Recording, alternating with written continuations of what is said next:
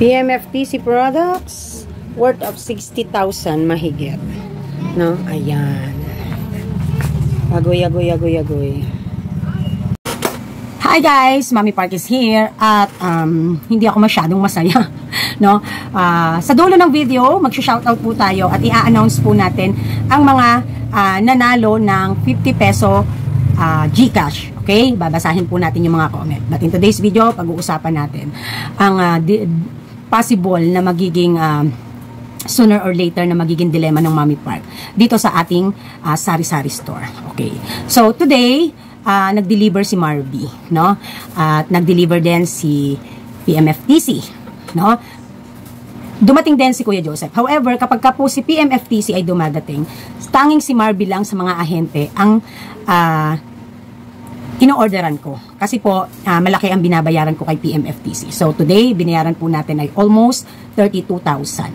Then, ay kumuha po tayo ng worth 60, almost 61,000 na mga sigarilyo, no? Kasi dito lang po sa Malboro Red, 20 rim na po ang kinuha natin. So, tawag dito. So, talagang malaki ang uh, lumalabas na pera kapag ka dumadating si PMFTC. Kaya, scratch lahat halos ng mga ahente. So, dumating din po si URC. Hindi ako umorder dahil nung mga nakaraan naman ay meron pa naman siyang tira doon sa mga in-order namin. So, talagang uh, uh, halos nasasagad kami ngayon, no? And uh, thankful naman ako kasi uh, naubos pati yung aking ano, pati yung aking buffer stocks ng uh, Marlboro Red, no? So, yan po ay uh, puhunan pa lang sa sigarilyo. No? So yung natira ko, kung isasama ko pati yung mga sigarilyo ni 14M na kinikerry, nasa almost 100,000 yung natira ko ng mga sigarilyo. No? Lahat na ng klase at attack. Both ahente ng PMFTC at ng 14M. Yung kinuha ko po sa 14M pa lang today is nasa almost 62,000 na. So kaya kailangan maingat tayo sa ating hanap buhay dahil ang obligations natin ay kutakot-takot. No? So, uh, kanina, ang ang nag-concern lang sa akin ay si Marvy. De, umalis na siya nung nag-deliver, no? So sabi niya, ah, Mami, hinarang kami dito palabas sa sa labas. Kala niya, sabi niya pa nga niya barangay. HOA lang po yun, no? Kasi nasa bandang labas po yung HOA namin. So, nakikita niyo po yan minsan kapag ka ako ay uh, may mga uh, capture ng video na uh, palabas kami, no? Na, halimbawa, yung kami ng daddy minsan na kapag ka namimili. Lumalabas kami ng subdivision. So, sabi ko, bakit? Kasi daw, kailangan daw ay may sticker na kami and yung sticker namin ay worth 500 for the whole year. So, uh, eh kayo lang naman po ang dinideliveran namin dahil exclusive po kayo sa Willow Bend ng tinapay namin and hindi naman napakalaki ng aking purchase sa kanila, no? So, minsan may BO pa. Pero maganda na rin ang sales ko, no, kahit papaano.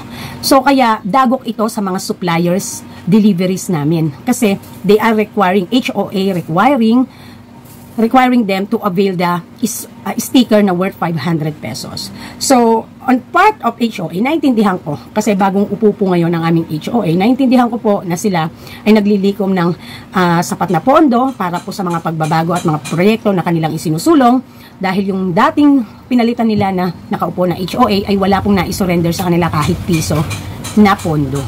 So, kaya naman, uh, naiintindihan ko sa part nila, pero sana naiintindihan din sa part ko tulad kong kasari at negosyante at nagne-negosyo dito sa Willow Bend. So, one of the reason why ako talaga ay uh, pinush ko na magkaroon kami ng property dito to be legit na taga rito. Pangalawa, ay nagne-negosyo ako dito. So, talagang uh, mas pinili namin na maging homeowners dito. Hindi po ako nagpunta basta dito sa Willow Bend nang ako ay walang panlaban when it comes to permits. Kompleto po ako ng business permits. Alam niyo yan, dahil binavlog ko pa hanggang BIR, di ba? So, but the thing is, itong isang desisyon ng HOA ay hindi sa hindi ko gusto. But I know this this will cause a domino effect. So, ano po ba yung domino effect? Na once ang isa ay natumba, sunod-sunod na. So, hindi ganong napaka katulad, ang Willow Bend ay katulad na kasing organized, kasing ganda, at kasing ayos ng mga ibang subdivisions compared to Lumina uh, organizations or pamamalakad. Ang Willow Bend ay it's like parang labo, labo-labo. So, ngayon dahil may tumayo na, meron ng bagong homeowners associations. We expecting na uh, magiging maayos na ang mga pamamalakad. And one of their uh, resolutions, kanilang uh, batas, is uh, required to comply ang mga ahente rito, lalo na ang may mga daladalang truck, na magkaroon ng sticker fee with one year validation. So, I cannot say na lahat ng mga ahente o lahat ng mga kumpanya na nagpupunta dito para masuplayan kaming mga kasari would agree with that, no? For me, it's too expensive, no? Kasi unang-una, hindi naman kami uh, malakihan umorder na katulad ng mga palengke na or mga minimart na milyon ang deals sa kanila. And so, for them na mapapa mapapatawan pa ng fee na kalaki, talagang feeling ko talaga aaray sila. So, before it happens, kuma kinausap ko na ang HOA. I've been there, no? I was there 20 minutes ago. And so, I uh, I say my or I said my uh, hinanaing, my suggestions, may ano na bakit hindi nagpatawag ng mga business owners para mapag-usapan ito. Yung implementation ay dapat sana ay binigyan muna ng panahon ang mga ahente na pagnilayan ito. But the thing is, eto po yan. Dahil hindi naman malaki ang sales ng mga agents and companies na ito dito sa amin sa Willow Bend, no? Actually, isa na po ako sa mga tin sa tinda, mga tindahan na malakas kumuha sa mga agents na pumapasok dito. Baka po ang mangyari ay hindi na kami pasukin, hindi na kami puntahan. Kasi mas iisipin pa nila na walang hassle sa iba and they can get the sales sa other areas. So, ibig sabihin, malilesen or baka mawalang tuluyan itong aking mga ahente. Na ito sana yung isa sa mga dahilan at uh, naging maganda para sa aming mga negosyo ng mga kasari na kami ay masuplayan ng free of charge sa aming ipinoprovide sa community. So bilang uh, business owners, uh, alam naman po iyan ng lahat na as much as I can, I provide uh, products and uh, services to communities sa presyong abot kaya nila, sa presyong hindi ako basta lalabag sa Department of Trade and Industry or DTI sa presyo na ipinakanukala ng gobyerno. And um, sinubukan ko at sinusubukan ko pa rin hanggang ngayon kung saan kami mag-meet halfway ng ating mga kababayan na ma-access nila ang tindahan ko with their affordable uh, with the affordable price no? But para ma-provide yan sa ating mamamayan, ng, lalo na ng, ng Willoben, kailangang mabawasan din ang aking expenses tulad sa transportation or kung paano ko na-access at nakuha ang mga supplies ko. So one of the keys and one of the big uh, reasons and good thing na nangyari is to have suppliers, ahente, agents, and deliveries. So napakalaking bagay po iyon kasi mababawasan ang aming expenses. And so I can provide lesser price or cheaper price or affordable price. Okay? So, uh, sinabi ko yung aking hinanaing, no? Kasi po, alam, uh, sinabi ko na hindi naman po kami dumidil sa kanila ng 100,000 in a month or million in a month para pahirapan pa nating papasukin ang mga ahente na ito. No? Dahil kung bagabay kami, nakikiusap lang na kami ay mapuntahan. Kasi hindi naman gaanong kilalang kilala ang Willowbend, no? At para kumuha sila dito talaga ng mga target client na katulad ko, eh, hindi kami napakarami. So, I am happy and proud that I am the one na nakapagbibigay ng pangangailangan ng community. No? It's hard for us to access outside kasi nga po subdivision, kailangan pang mag-hire o mag-mamasahe, mag-tricycle kung walang sariling sasakyan to access their needs. Ang pamumuhay po ng mga tao rito usually ay minimum wage earner. Mas marami din ang uh, below minimum wage earner. So kaya po, malaking uh, tulong ang mga sari-sari store for them na makabili ng kanilang needs araw-araw. May mga times na may mga isang kahig isang tuka, pag kumita, saka makabibili ng bigas. Minsan po, kalahating kilong bigas, pinagbibigyan ko na makasaing lang. And so, nag-business ako dito to also think yung community ko, yung mga mamamayan na hindi mahirapan ang bulsa. No? Ika nga ay nagne-negosyo akong may puso. No? So, in that case, no, kinausap ko nga si HOA, pero hindi pa talaga yung lahat ng pamunuan ang nakausap ko.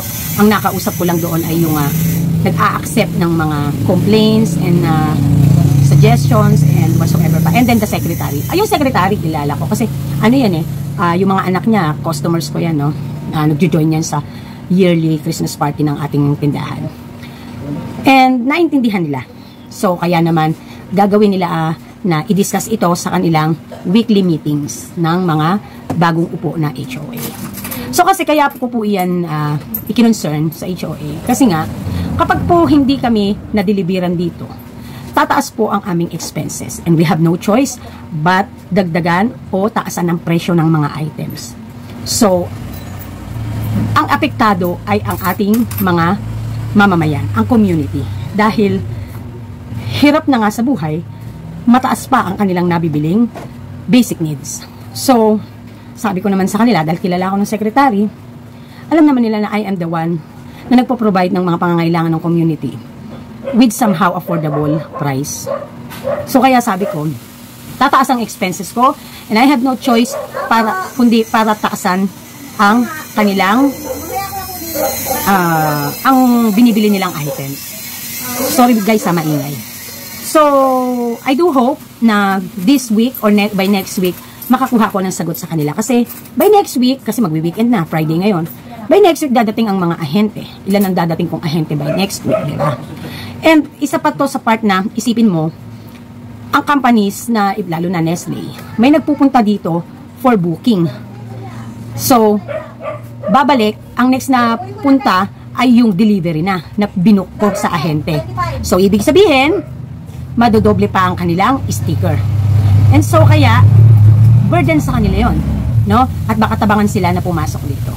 So, sabi ko, maganda pong sign na tayo po ay napapasok ng mga ahente sapagkat na ipoprovide nila ang pangangailangan ng community dahil we can able to access them bilang sari-sari store owner or business owner, we are able to order ng paunti-unti break cases at ma-provide sa ating mga mamamayan.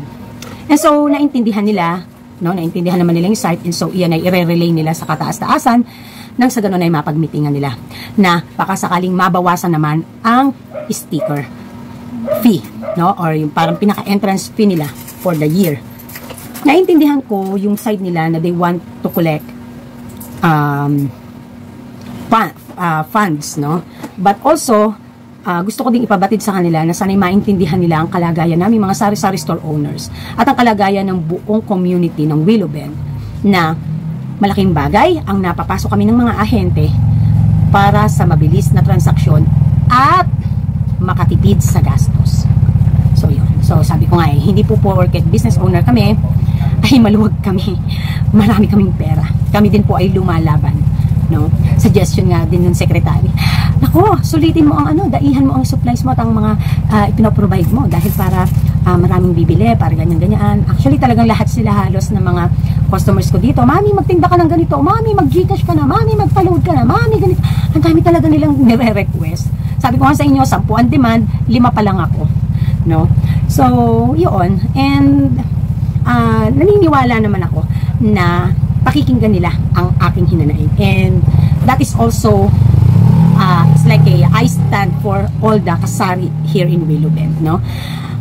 Kung kung meron man sa aking naiinis na kapwa ko kasari dahil kalaban ko lang sila sa negosyo, bala na sila sa buhay nila. But my concern is, may mga kasari po kasi ako na tumatangkilik sa aking tindahan na itinitinda din nila ang kanilang paninda.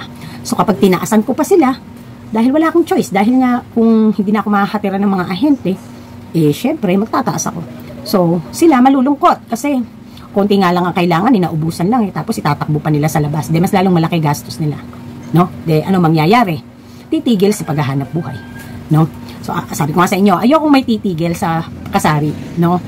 Pero sa totoong mundo ng negosyo, matira ang matibay. Yun ang talagang katotohanan dyan.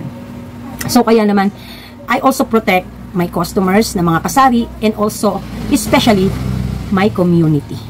No? Alam, sabi ko pa, alam niyo po, isa sa napakagandang opportunity iyan na ang ating subdivision ay napapasok na ng mga ahente. Kasi, yun nga, tulad na sabi ko pa ulit-ulit, we are able to provide the needs of the community na hindi nila kailangang lumabas, mamasahe, mapagod, mahirapan dahil they can access inside the subdivision ang kanilang basic needs. So yun, so siguro sa mga susunod kong vlogs ay i-update ko na lang kayo kung ano ang magiging desisyon at kung ipatatawag kami mga business owners for further uh, pag-uusap, i-discuss ito, kung ano ang mas maganda, kung, kung mag-meet halfway ba, kung papaano. So, maghihintay na lang ako ng patawad. So, yon So, isa sa kagandahan na ikaw ay nasa isang uh, subdivision, ang mahalaga talaga dyan minsan kahit uh, busy kang tao, you have to be involved what's going on, what's happening in your community. Kasi para aware ka na may mga bagong batas, no? aware ka na isa kang business owner and may mga resolutions and uh, uh, laws na pinatutupad ang uh, mga homeowners associations. No, I'll, sabi ko sa inyo na nire-respeto ko ang lahat ng politicians, lahat ng mga nakaupo, nire-respeto ko sila, no? Sa totoo lang, pagdating sa mga Jews at pagdating sa mga ano, isa ako sa nakikiisa at isa ako sa nagko-comply Uh, pagdating sa mga juice na yan, binabayaran ko na yan for one year para hindi na sila pabalik-balik dito, hindi nahihirapan na maningil para lang sa monthly juice, no? Hanggat, kung may pera naman at kaya naman eh, why not, di ba?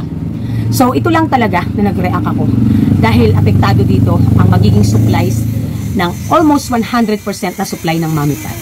E lalo pa ngayon guys, hindi naman ako basta lumalabas dahil alam niyo pong nakatutok na ako ngayon sa tindahan at sa tindera. Hindi na po ako basta-basta nakakaalis. At hindi naman lahat ng bagay kaya ni Daddy Park na ipamili. No? So, kaya talagang pumunta ako talagang sadya para ipaalam at iparating ang aking nasa sa loob bilang homeowners, uh, part of the homeowners and also part of the livelihood uh, paano ba yun?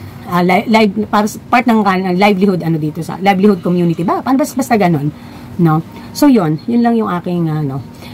So, sa inyo na mga nag, uh, ano sa subdivision or may balak na magtinda sa subdivision, lagi nyong aalamin, aaralin ang mga rules and uh, policies no ng uh, homeowners associations. Nang sa ganun ay uh, walang mangyaring mga conflicts.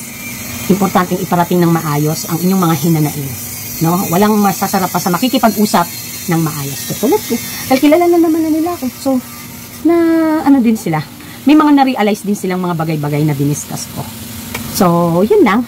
And, um, Maraming maraming salamat po sa nanood kagabi ng aking uh, at hanggang kanina ng aking uh, last part ng uh, episode ko po na the design is very timeline ni Mami Park. So thank you, thank you very much po, no? And today ay i-announce ko na rin po ang mananalo ng 50 peso load. Okay? So, mangyari lamang po na kapag po kayo ay na-replyan ko sa inyong comment ng congratulations, eh, i-screenshot nyo po at i-PM nyo po dito sa aking FB account. At kung hindi naman po masama sa inyo, eh, i-follow nyo na rin ang Mami Park. Diba? Ayan. So, thank you very much, no? So, mag-shoutout na po tayo. So, mag-shoutout muna tayo dun sa, ano ha, sa last video ko. Saka po doon na sa video na yung mga tumama sa loto. Charot. No? Ayan. Okay. So, shout out to Ricky Anuevo. Happy Women's Month, Mommy Park. God bless. Thank you po. Karen Belsiana Agustin 920. Hi, Mommy Park. Beliana Santos, sabi nga po, Mami, kahit na anong sitwasyon ang kinalalagyan natin, basta gawin mo lahat ng tama, siguradong aani ka ng magandang kapalaran. Kasi po, laging nakatunghay si God Love you, Mommy Park. Ingat po palagi. Always pipiliin pa rin nating maging mabuting tao sa kabila ng lahat ng mga kabiguan at uh, kapighatian na dinanas natin. No? Kasi wala naman tayong magagawa. No? Minsan, uh, kahit hindi natin kontrol ang sitwasyon, uh, piliin pa rin natin na maging mabuting tao. No? Ika nga ay magkaroon tayo ng sweet revenge. Ganon. Thank you, Beliana Santos. Next would be Juanito San Mateo. Pasensya na guys ha, iilaw liliwanag, iilaw, liliwanag. Kasi, binubuksan ko yung aking lapi. So, pag umiilaw, ayan, maliwanag. O, oh, di ba? Ay, taray. Gandara ka niyan. yan.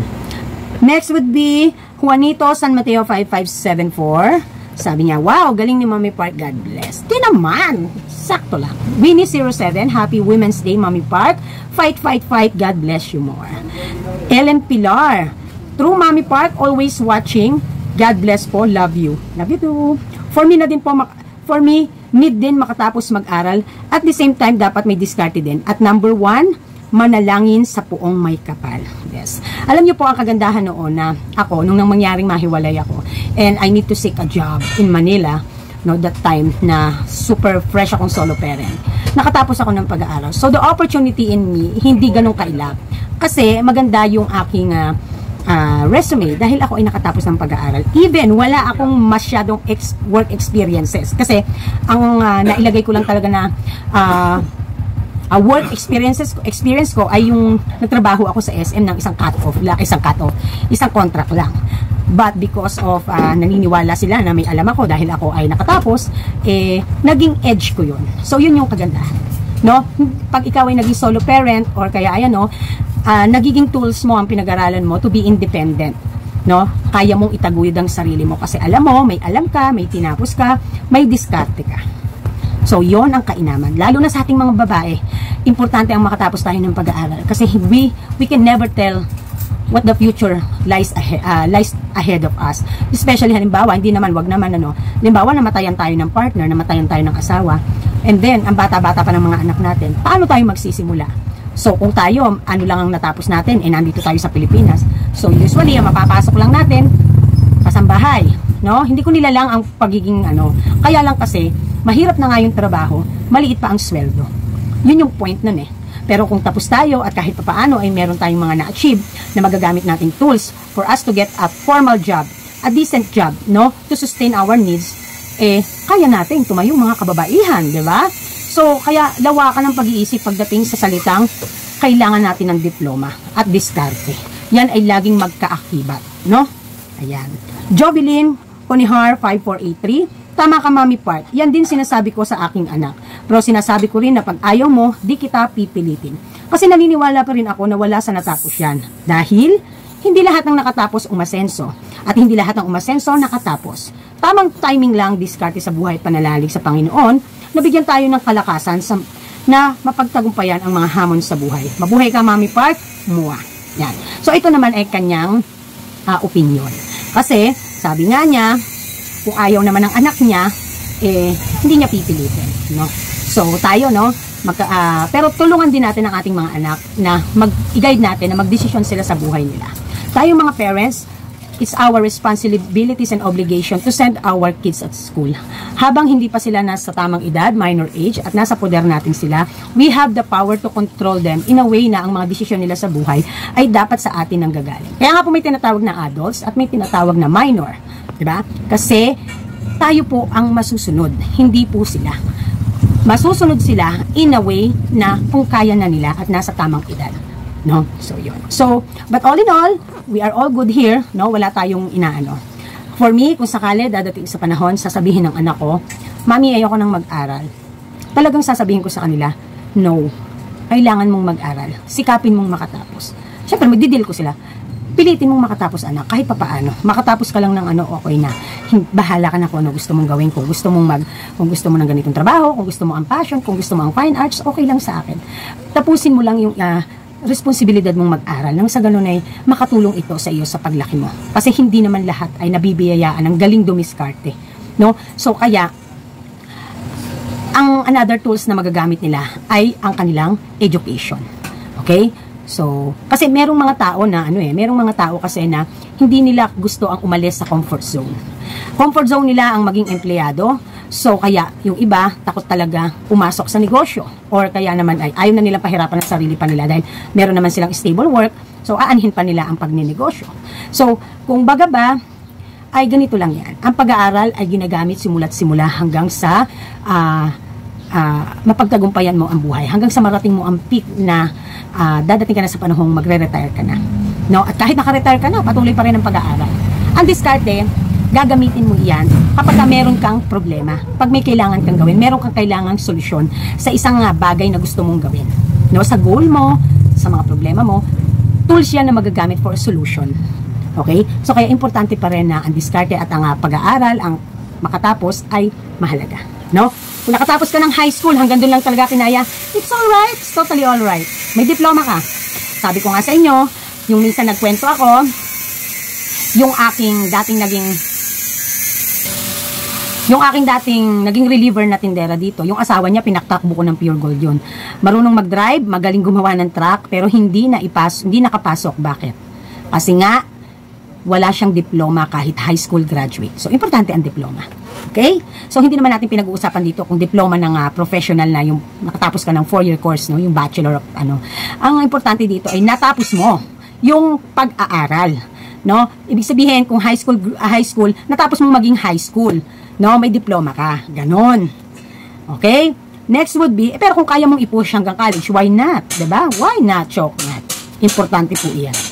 Okay, next would be, Video support group. Hi April, how are you? Okay lang. Uh, video support group, uh, please give my regards to ano, to Ma'am Koshab Shabit, Ma'am Leona. Thank you. And next would be, eto na, ang ating um, uh, mga nanalo. Magsha-shoutout tayo at mga nanalo sa ating uh, 50 peso worth of Gcash, no? Kung ilan ang makukuha natin dito.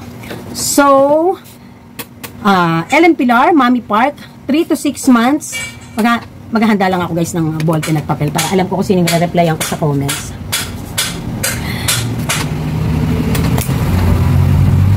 Sabi ni Ellen Pilar, Mommy Park, 3 to 6 months po ang trial and error sa sari-sari store. Sa, sa sari-sari store naman po, 1 year to 2 years. Hehehe, sana tama. Love you, Mommy Park. Always watching. Ayan. Um, sa totoo lang po, no? Uh, sa totoo lang po ay uh, uh, paano ba hindi ko na muna sasagutin ano.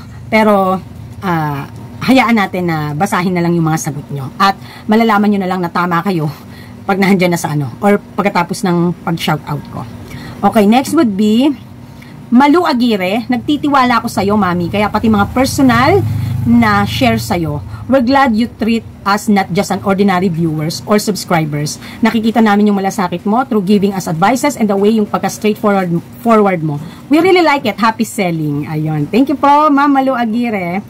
Nor Aya, nor Aya Mama. Malaking lugi po talaga, Mami Park, kung mawalan tayo ng items sa tindahan. Kaya dito sa mini store ko, hanggat maaari, di ko talaga inaasa. First priority ko po talaga si store. Kasi ako lang din naman ang mamom problema kapag nalugi.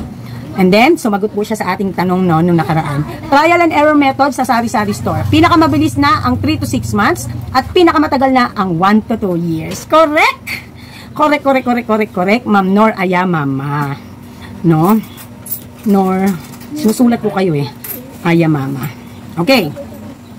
So far, ito po ang pinaka, ano, pinaka-exact na tumama sa sagot. Mylene Paher, Pahera, pa, paher, pa, Paherga 8370. Hi po Mami Park, watching po from Mindanao. Ven, Venus Abatang 2760 para sa akin, pag nalampasan mo na ang break-even stage ng negosyo. Okay? So, uh, pwede, no? Pwede, pero syempre, um, kailangan ay yung kung ano yung napag-aralan natin. Kasi para naman daw sa kanya yon. So, syempre, ang tanong ko ay yung uh, sa mga pinag-aralan natin, no? Okay, next would be Brian Sevilla 6285. Small retail business, general merchandise or mini mart, 1 to 2 years. Standard sari-sari store business, through 3 to 6 months. Ay, galing ni Brian Sevilla. No? Si Brian Sevilla, ang galing-galing. Ito talaga nakakatuwa talaga kayo eh, no? Halata talagang nakikinig talaga kayo, no? Winnie07, thanks advice Mami Park, always watching. Benu sa Batang, Mami Park, yung panalo ko na 60, loadan mo na lang ako sa number ko. Ah, uh, hihihi, ala akong Gcash eh. Ayan, no? So, sige po, uh, Ma'am Venus, re-replyan ko po ngayon kayo sa comment nyo. I-screenshot nyo po, isend nyo po sa akin sa uh, ah, FB ko. Nang sa ganon ay maloadan ko po kayo. Okay? Ayan. Ellen Pilar, Mami Park, 3 to 6 months po ang trial and error. Sa sari-sari store naman po, 1 year to, to 2 years. Hehehe, sana tama. Love you. Ay, nabasa ko na pala to, sorry. Ayan. Um, Mary Joy Jovi 6618. Good day, Mommy Park. Done watching while working. Ha ha ha. Another uh, another nice video and learnings na naman na naman. Tama po, ma'am. Dapat po talaga ma-check ng maayos kung tama at walang damage ang product na nire-receive. Kasi if hindi magiging responsable ang employee, big losses po sa may-ari. Dapat po may concern po tayo sa hanap buhay ng ating mga employer. Dahil sila po ang dahilan kaya tayo may work. Answer, sa pag-aalala ko po, dati sinabi nyo po, specific day, months, and year. Pero matagal na po ang 1 to 2 years na trial and error. And it depends po sa purpose and goal na gusto mong ma-provide na ipuput up mo na store. And most important, samahan ng diskarte at sipag for better result. Thank you, God bless more, Mami Park. Uh, more upcoming videos pa po uh, para more learnings, la love love. Alam niyo, natutuwa talaga ako. Kasi marami sa inyo, yung mga detailed na sinasabi ko, nasa, nasasabi nyo, naaalala nyo. No, so talagang magagaling kayong mga estudyante, no? So, congrats, Mary Joy Joby 6618. No, I love that. I love your, ano, kung paano mo, uh, in other way around, in-explain at inano ang iyong, ano, ang sagot. Okay, next would be Ricky Anuevo, Happy Selling Mommy Part. Uh, Alva, Star, Alva Astorga to 5201. Thank you po sa advices, Mommy Park. Nakakatulong po ang lahat ng mga sinasabi mo po. Napakagagalang nyo, no? Veron Mix Vlogs. Mommy Park, bakit wala pong audio? Tapos sumagot ulit siya. Ay, meron pala. Inulit daw niya. Ayan. Veron Mix Vlogs, love, hello Mami Park, excited akong manood today, love you and God bless. Ayan. So maraming maraming salamat po sa mga nanalo. Hintayin niyo po ang reply ng Mami Park diyan for uh, congratulations, you won. Screenshot po ang inyong comment with my uh, replied comment at isend niyo po sa Mami, Mami, Mami Park FB account. Okay? So aasahan ko po na kayo po ay uh, mag-PPM sa akin. Ano? Maraming maraming salamat. And this is Mami Park and this is Team Park fighting. Bye!